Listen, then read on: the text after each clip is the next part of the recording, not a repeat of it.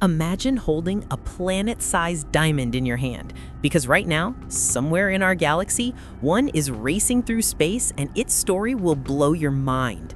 Scientists discovered a world so dense, so shiny, and so unbelievably tough that it's literally made of crystallized carbon. Yes, an entire planet of diamond.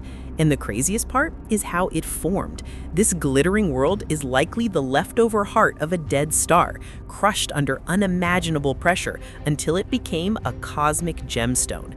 Picture a diamond five times bigger than Earth spinning around a tiny, hyperdense pulsar that blasts it with radiation as if polishing it nonstop.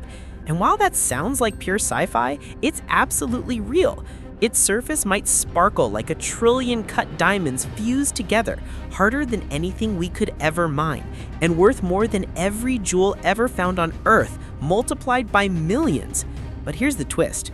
No spaceship we have today could ever survive getting close, because the gravity would stretch any craft into spaghetti before you even reach the surface.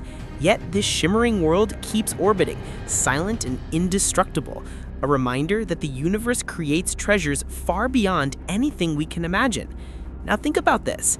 If one diamond planet exists, how many more are out there, drifting in the dark, waiting to be found? And what would it mean if we could one day reach them? A single planet like this could rewrite our understanding of value, of resources, even of how worlds can form. So the next time you look at a tiny diamond on a ring, just remember, somewhere out there, a planet-sized version is gliding through space right now, which makes you wonder, what other impossible worlds are hiding out there, just waiting for us to spot them?